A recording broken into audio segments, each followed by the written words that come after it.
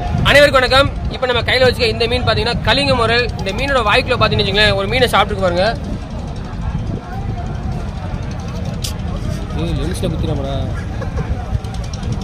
இந்த மீன் பார்த்தீங்கன்னா சாப்பாட்டுக்கு குழம்பு வச்சாலும் சரி பொரிச்சாலும் வேற லெவல் அடிப்பொலி டேஸ்ட்டாக இருக்குது இந்த மீன் கிடைச்சிச்சு அப்படின்னா வந்து மறக்காம எவ்வளோ விலையாக இருந்தாலும் வாங்கி சாப்பிடுங்க.